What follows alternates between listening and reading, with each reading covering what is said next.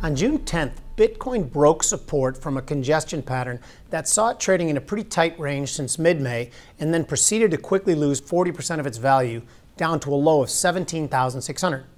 Now, this break happened to coincide with that troubling US CPI number on June 10th that sent rate markets into an extremely volatile repricing of future Fed policy and a 2.5% rally of the US dollar against the dollar index. At its low, Bitcoin was down 75% from the high it made back in November. At current levels, Bitcoin still represents 43% of the total crypto market cap, down from a recent high of 47%. Now, of course, the crypto space in general has been under tremendous pressure as 72 out of the top 100 tokens are now down more than 90% from their highs.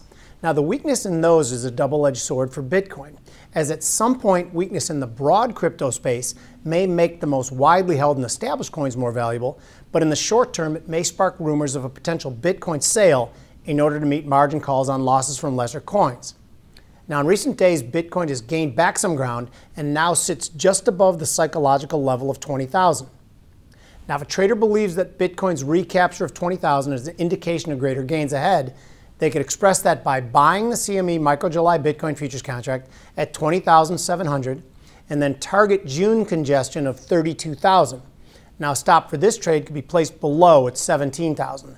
This trade could make $1,130 if your target is reached and risks 370 if you're stopped out at your level. Now, if a trader believes that that 20,000 support level will soon give way and further losses will ensue, they could sell the micro July Bitcoin futures contract at 20,700 and target the November of 2020 congestion of 12,000.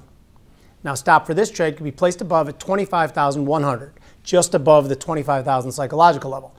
This trade could make $870 if your target is reached and risks 440 if you're stopped out at your level.